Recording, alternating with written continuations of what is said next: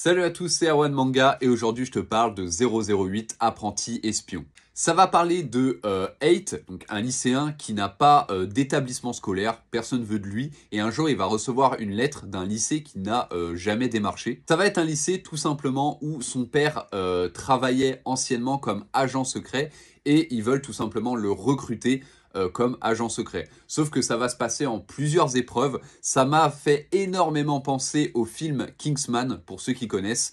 Bien sûr, si je te le présente, c'est qu'il y a énormément de culture à l'intérieur et énormément de Ichi. C'est ça que j'ai adoré dans 008 Apprenti Espion, c'est qu'il y a énormément de situations très très drôles, très très cocasses et surtout remplies de Ichi et j'ai vraiment adoré. C'est vraiment une euh, lecture détente et surtout euh, j'adore Kurokawa parce que quand tu déplies la euh, couverture, tu as toujours une petite surprise à l'intérieur. Je te laisserai découvrir ça, tu ne vas pas regretter du tout.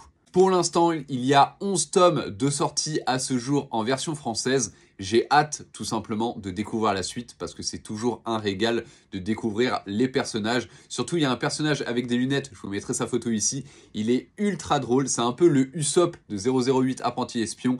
Et franchement, on passe de très bons moments avec lui. Et puis bien sûr, l'héroïne principale, je vous la mettrai ici euh, en photo. C'est vraiment une dinguerie. J'adore. je ne peux que vous le conseiller foncez vous le procurez chez votre libraire ou chez la FNAC. Vous allez kiffer.